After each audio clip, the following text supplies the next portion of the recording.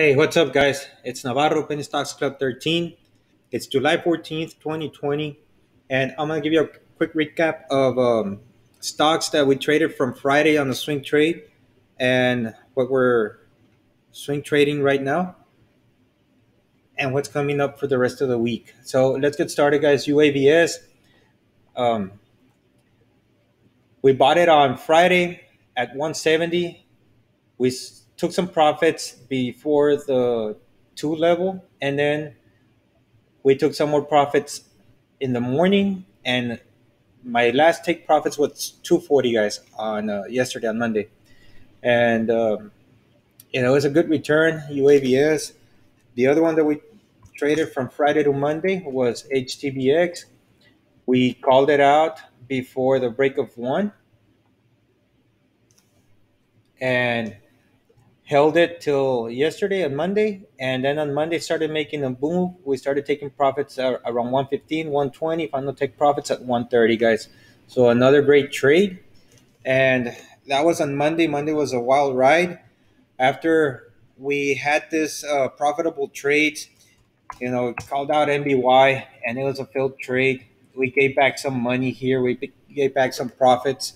So you know, this one just goes back on watch. If it can start making a, a move and test these levels over here, then that, would be something that interests me right now. It's just on watch. Um, the next one is TNXP. This one was another call out for the break of 0.70. It was here yesterday. We were calling it out because we thought it was going to push. It had news. It had good news about some COVID 19 vaccine. And then uh, midday, when it was starting to break the levels, they put out an offering and we got stopped out. So we gave back a little bit more of the profits. I ended up slightly green on the day, but nothing to brag about, guys. It was insignificant. So, you know, those were the two stocks that made us give back some profits. But then today, we entered VBIV, guys. Had a flag pattern going, identified the key levels at 410. We entered at 409, and then let me take you to the one day, three minute. Then it got this short squeeze going on, took profits at five, took profits at 550, and I'm still holding some for tomorrow, guys. And some of the members as well, they took profits. Some that didn't have day trades, they're still holding the full position from the 410 level. They're currently up 24, 25%, guys, which is awesome. And again, it doesn't matter if we take profits over here or down here on this one, as long as we take profits tomorrow, it gives us the opportunity to take profits tomorrow. You know, we'll come out winners with a good, good, decent, decent um, profits from it. So that was VBIV, guys. The other color from today was BIOC, kind of a dip buy, looking for levels of support and the key level to be broken today. That was the 70.70 level right here where it's, it was rejected today, rejected yesterday. You can see at the after hours from Monday. And if you go back five days, you're going to see that level being a key level. You got your 70 level here, and you, you see all that consolidation around it. So that's why we took a position on it at 0.6950. It's right now trading at 0.70, but hopefully tomorrow it, it gives a big push.